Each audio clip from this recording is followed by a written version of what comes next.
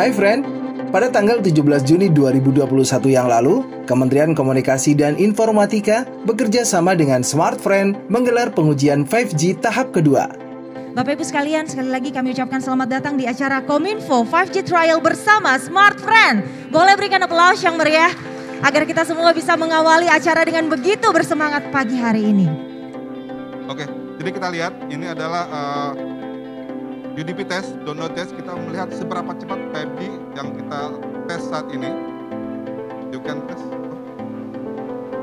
Nah, kita lihat ini adalah download speed yang kita dapatkan dengan 5G.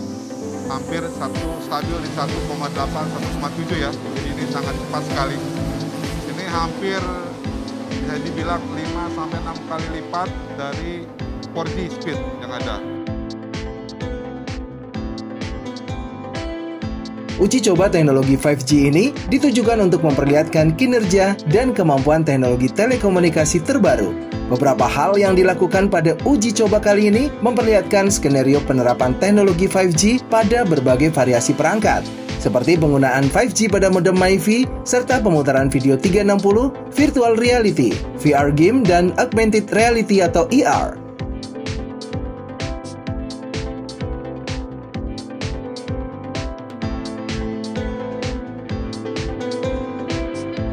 Lalu bagaimana tanggapan teman-teman pengguna Smartfriend dengan adanya Smartfriend 5G ini?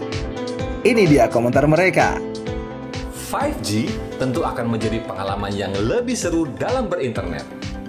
Dengan kecepatan yang setara dengan Wi-Fi dan bandwidth yang tinggi, 5G tentu akan sangat membantu dan mempermudah saya dalam bekerja terutama ketika harus mengupload atau mendownload file dengan kapasitas yang besar. Berniaga di era industri 4.0, eh, senjatanya ya internet.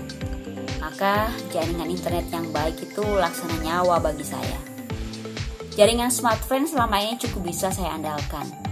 Selain stabil, kecepatannya juga lumayan bagus, sehingga urusan-urusan saya jadi lebih lancar. Uh, mendengar smartphone hendak launching 5G, saya jelas antusias. Jika jaringan semakin bagus, maka jangkauan produk-produk saya juga akan semakin luas. Terima kasih smartphone yang telah membersamai usaha saya. Uh, dengan kemajuan teknologi di era global seperti sekarang ini, tentu saja internet menjadi hal yang sangat penting bagi para pelaku kreatif di bidang multimedia seperti saya di mana saya harus mengirim karya dengan cepat kepada klien tanpa harus keluar rumah menggunakan jaringan internet. Selain itu juga saya harus terus mempelajari fitur-fitur terbaru di dunia multimedia seperti halnya fitur VR, terus juga ada 360 yang semua itu tak lepas dari peran jaringan internet. Uh, dengan hadirnya fitur 5G dari smartphone ini, kami menyambut baik Uh, semoga ini bisa menjadi angin segar bagi para pelaku kreatif di bidang multimedia sehingga kerja-kerja kami dapat semakin terbantukan. Terima kasih kepada Smartfriend yang sudah melahirkan teknologi 5G. Mari kita sambut teknologi ini dengan penuh sukacita. Jadi kualitinya kita paling yang paling besar yang 4G.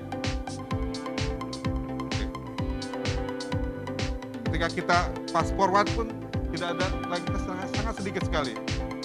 Bagaimana dengan kamu? Sudah siap menyambut smartphone 5G? Open Possibility, peluang tanpa batas.